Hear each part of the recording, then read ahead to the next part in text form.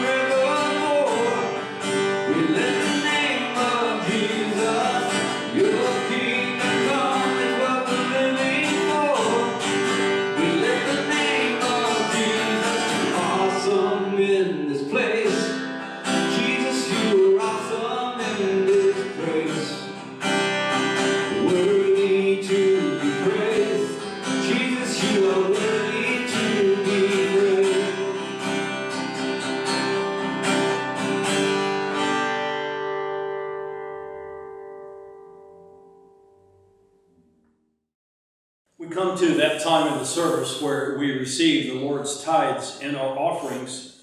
And as we do so, I remind you that you can um, contribute to the support of the church online, or you may send a check through the mail. In that light, let us join our hearts together for a moment of prayer. Shall we pray? Father, we do thank you for all the gifts that you have given to us and the opportunity to share them to your ministry through your Spirit. We ask for your blessings upon both gift and giver in the service of your kingdom. Amen.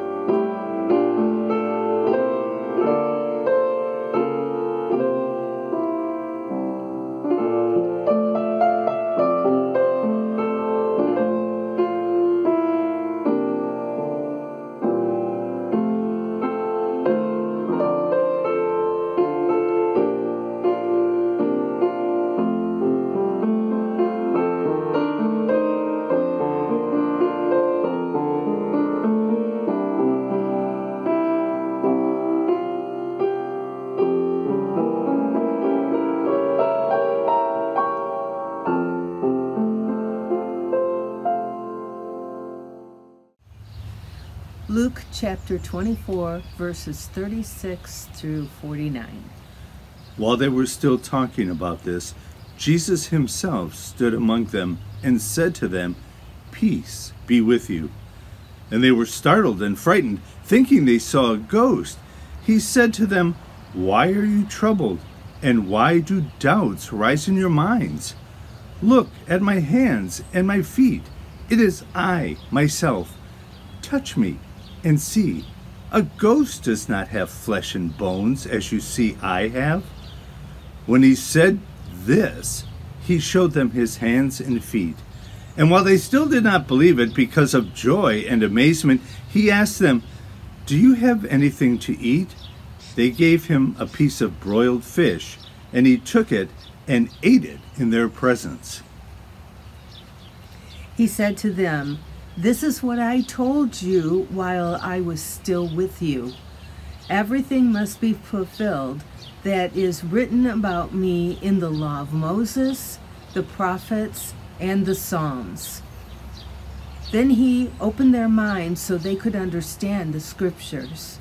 He told them, This is what is written The Messiah will suffer and rise from the dead on the third day, and repentance for the forgiveness of sins will be preached in his name to all nations, beginning at Jerusalem. You are witnesses of these things. I am going to send you what my Father has promised. But stay in the city until you have been clothed with power from on high. As we come now to a time of prayer, you can see the sanctuary is not well lit. The sanctuary is not lit at all except by the natural light of the sun on a cloudy day because there is no power in the building. I won't say there's no power in the church because you and I are the church, and we, of course, have the presence of God and the Holy Spirit with us to give us power. So you may have to squint a little bit more. There's nothing wrong with your computer, so you don't need to try to add brightness to it. I would also add that they're doing construction on West Cross Street or Cross Road, and you can enter the church only from the east and by coming in the exit to get to the parking lot. So, with these thoughts in mind, let us pray. O Lord, as we come to you in prayer on this Memorial Day weekend, we do want to remember the day and the weekend. We thank you, Lord, that we in the church share liberties through your mercy and through the sacrifice of men and women who have taken up arms to protect and to defend our freedoms. So, over this Memorial Day weekend, Lord, help us to find a moment to reflect on the meaning of sacrifice, knowing that people do not sacrifice unless it is for something or someone whom they love. To remember those who have given the last full measure, and those who serve now, and those who have served. Lord, you are our God. In you we live and move and have our being. In your light we find our light, and in your love we find healing and hope. Draw near to us and grant to us a fresh vision of your way forward through this difficult and unusual time. Lord, increase our faith and fill our days with an awesome awesomeness and awareness of your presence here with each of us and on the journey that we share in Christ. As we gather, we are mindful of those whose lives have been disrupted by the flooding in Midland. We pray for your mercy and compassion to be with them, to minister and care for their needs. We ask, Lord, your life-giving and healing, healing Holy Spirit may attend to the needs of the people who are hurting in one way or another. May your spirit of wisdom fill the thoughts of our leaders at all levels of government. May the abundance of your love comfort the anxious and the lonely. And may the power of your Spirit strengthen the hearts of those who feel faint and weak. We thank you, Lord, as we gather. For these who are worshiping with us, we pray and ask for your blessings upon this time together for the strengthening of our faith, our hope, and our love through Christ our Lord, in whose name we pray. Amen. I want to thank Roger and Judy for the reading of this passage in Luke. You may recall uh, verse 49, but if you don't, I'll help you with it. And now, and, and see, I am sending you what my Father promised. So stay in the city until you have been clothed with power from on high. Now, this passage in Luke is the third resurrection appearance of Jesus to the disciples in Luke, and it serves as a bridge over to the first chapter of the book of Acts. The author of Luke's gospel is also the author of Acts. And in the book of Acts, which we will be getting into next Sunday in chapter 2 on Pentecost, the book of Acts reveals in chapter 2 the coming of the Holy Spirit upon the followers of Jesus and empowering these followers to become the church. And then the book begins to describe the spread of the gospel of the early church in Jerusalem and then to Judea and Samaria and then to the outermost parts of the world. Jesus tells the disciples to wait in the city until you have received power from on high. I believe that Jesus knew that the followers did not have within themselves the power to spread the gospel, to meet the challenges they would confront. They would require a power they could not muster, they could not create, they could not generate themselves.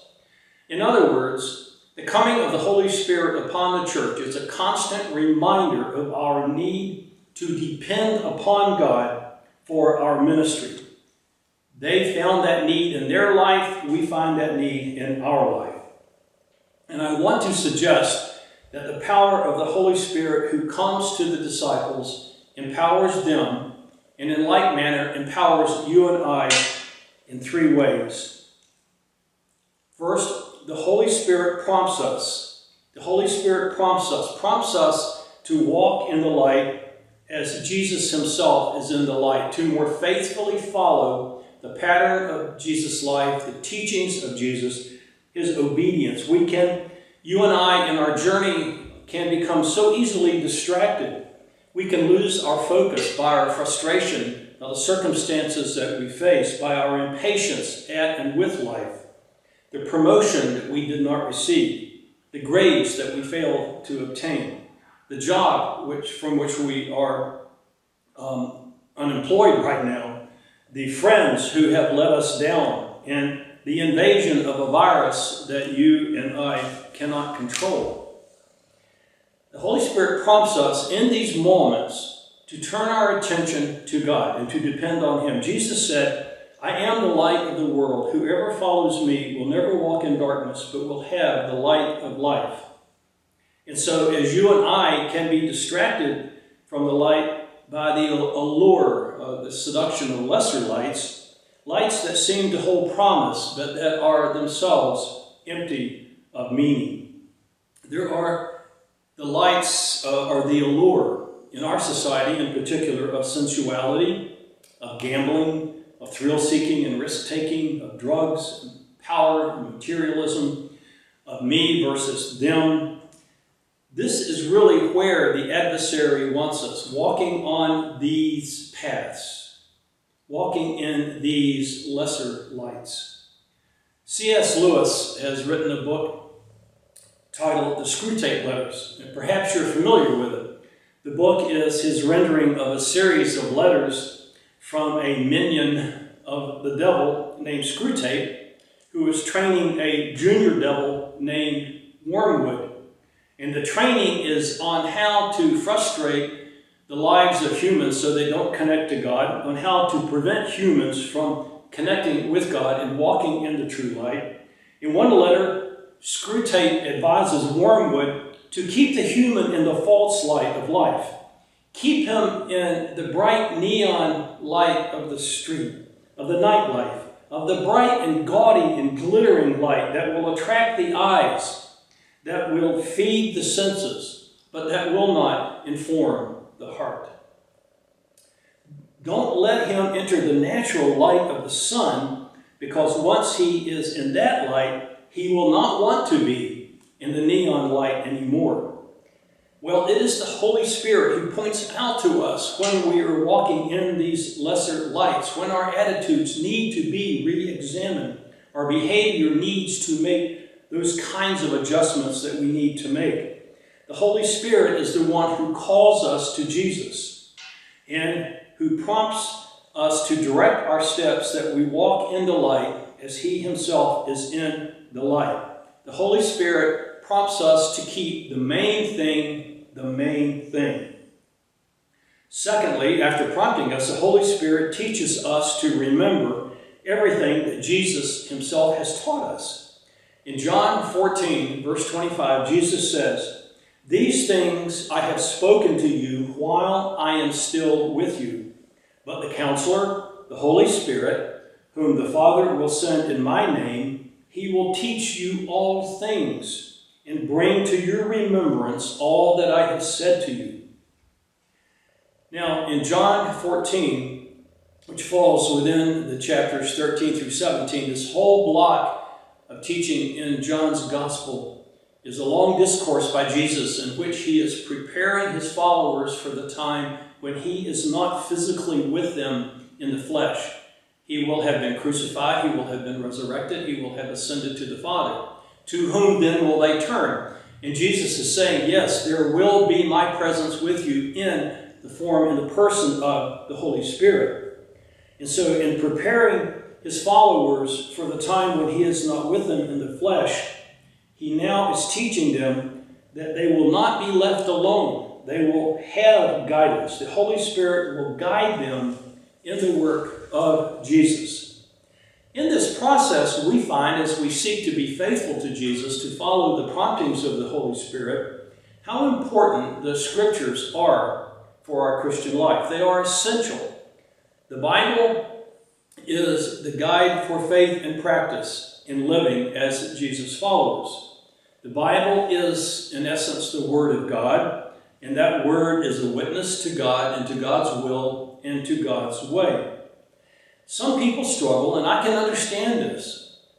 Reading a book that was written over a period of 3,000 years by multiple writers, the most recent book is 1,800 years ago, and a book that presents some challenges to us, written in a culture where men who wore robes and sandals and rode camels.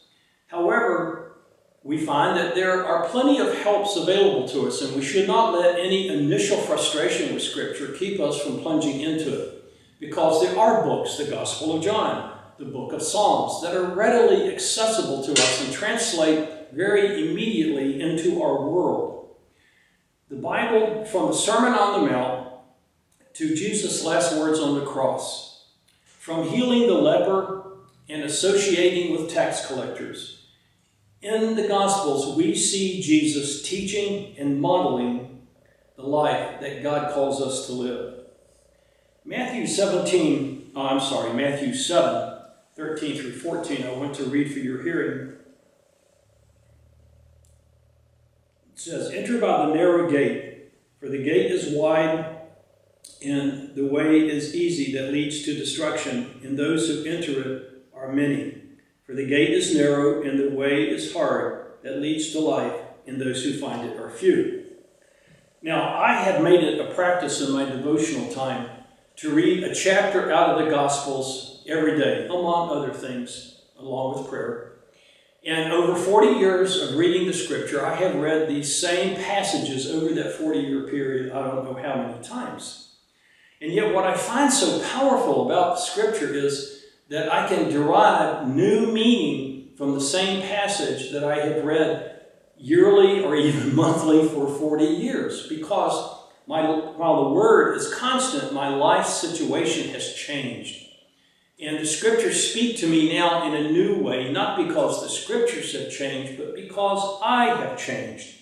And so when I looked at this passage, I heard a pastor talk about the narrow way and the broad way, and he had a really wonderful summation of his interpretation of this passage, which is for us as Christians to be narrow in our devotion to God, but broad in our love for others. That meant really a lot to me in that moment when I heard it. It's a new way of looking at the passage, a new way of hearing Jesus, that this is the work of the Holy Spirit. Trust God to make the passages relevant to you so that what the Holy Spirit teaches us in bringing to our remembrance what Jesus has said and taught us, we can more easily connect with that teaching. The Holy Spirit prompts us, the Holy Spirit teaches or brings to our remembrance, and then finally, the Holy Spirit brings the power of God to live faithfully. It is in Christ, in, in Christ, we do not, as Christians, have to allow the circumstances of life to define us. Now, I learned this very powerfully when I was doing a chaplaincy residence in Madison, Wisconsin. I had taken a year out of ministry after 10 years, and I felt it was time to spend a more intensive continuing edu- education experience.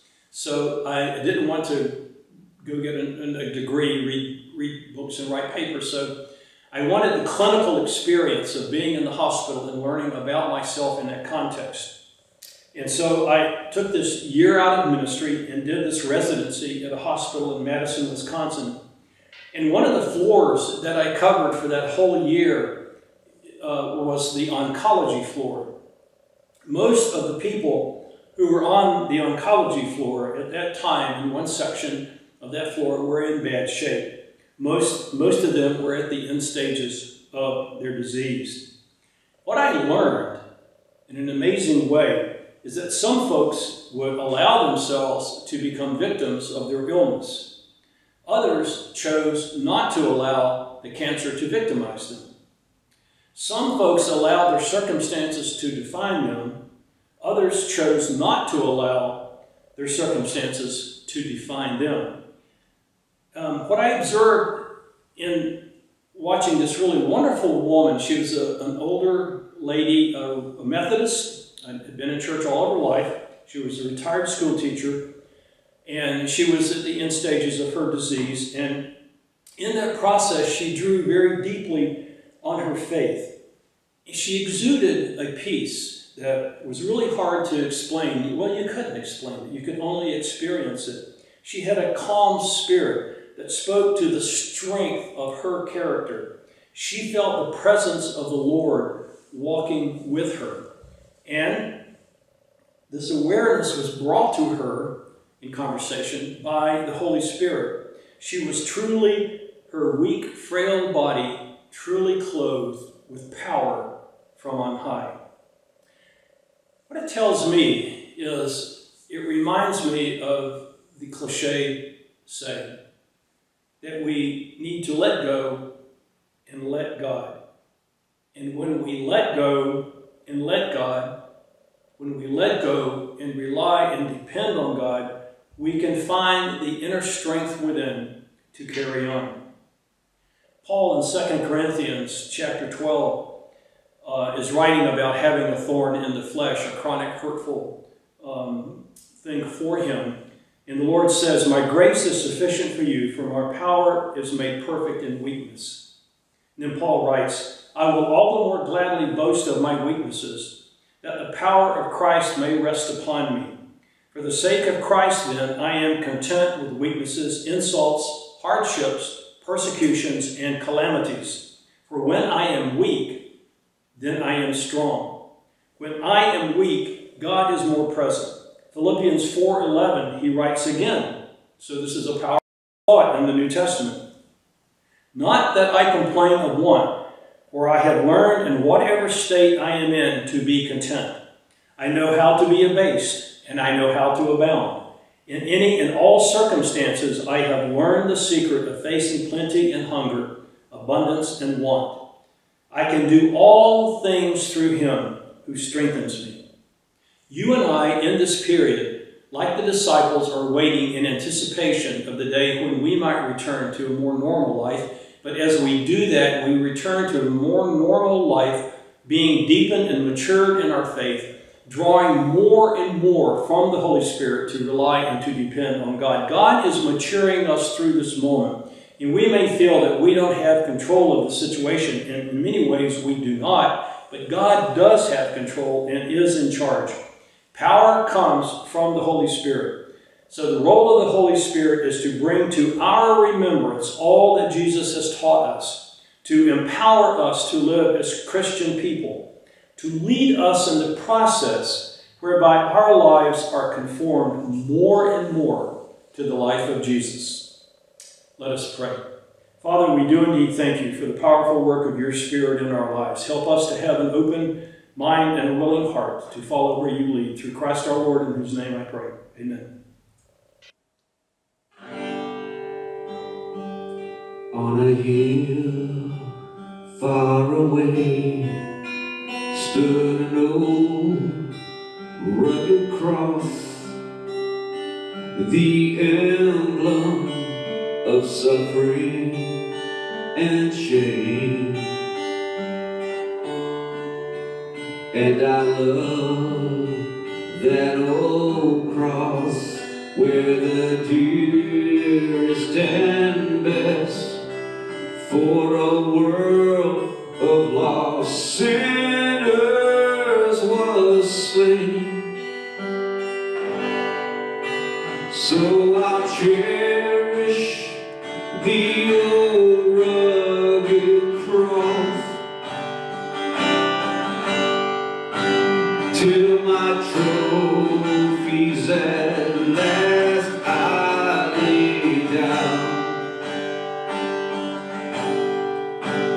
I will cling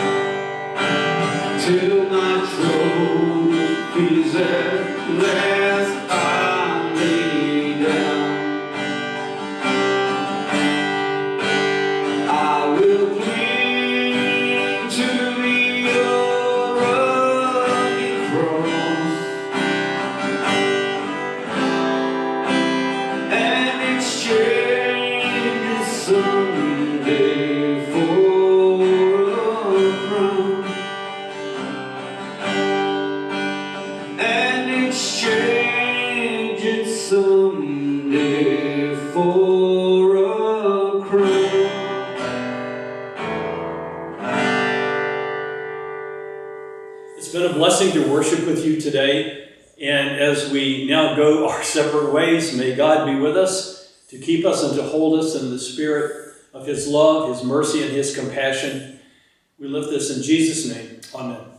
American Baptist Churches of Michigan, Brian Johnson here, and uh, I'm excited to be able to be a part of your worship service uh, on this Sunday morning. Who would have thought that a few weeks ago, when I began in this position, that uh, we would be where we are today? I had high hopes of being able to visit so many of our churches and getting to know you and build relationships with you. And uh, like you, I'm frustrated that that cannot happen right now. But I didn't want to miss out on an opportunity to just say hi and send my greetings to you and, and just remind you that we are going to get through this. We will get on the other side of this.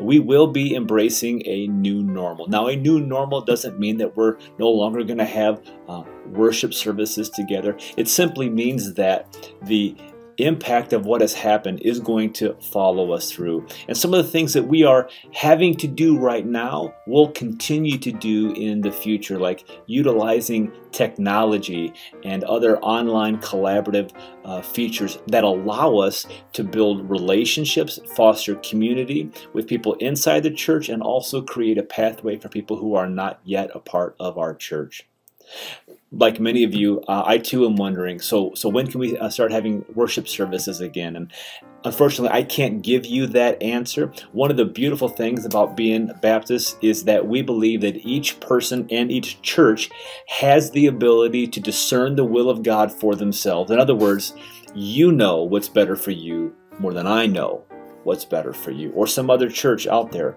and and whereas a church in the UP may look at opening up their services a lot sooner than a church in Detroit does it also realizes the fact that each of us have a unique set of circumstances and a unique context like you, I too am weary and tired from uh, all of this. I long to be able to go to a restaurant or go to a grocery store and not have to wear a mask or worry about this and that.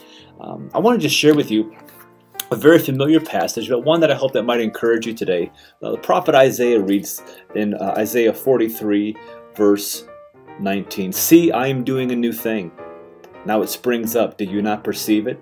I am making a way in the desert and streams in the wasteland. The wild an- animals honor me, the jackals and owls, because I provide water in the desert and streams in the wasteland to give drink to my people, my chosen. You know, no matter where you are or what you're going through individually or as a church. Uh, we feel like it's a bit of a desert, a bit of a wasteland that we're going through, a wilderness experience. But we have the assurance in God's Word that God is with us and God is providing for us in the midst of everything that we are going through.